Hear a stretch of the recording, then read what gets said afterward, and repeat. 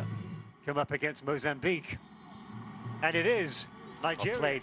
Nazar leads the line well. Pulls the trigger. Just wide of the mark.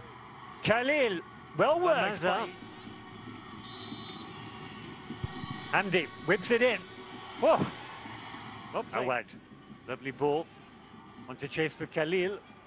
Good change of direction. Trying to get it onto his left boots, which he does, just wide. Throws his arms into the air. Spread out wide to Sunday. Good shot, good block.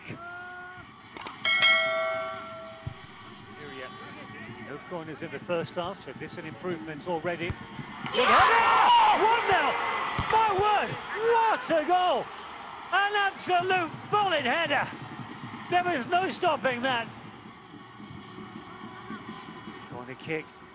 Now the goal came for Nigeria. Their turn to defend. Control. That's a lovely flick. A little bit of space for El Said.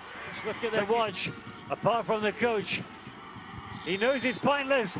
But there's the final whistle. Nigeria has beaten Egypt.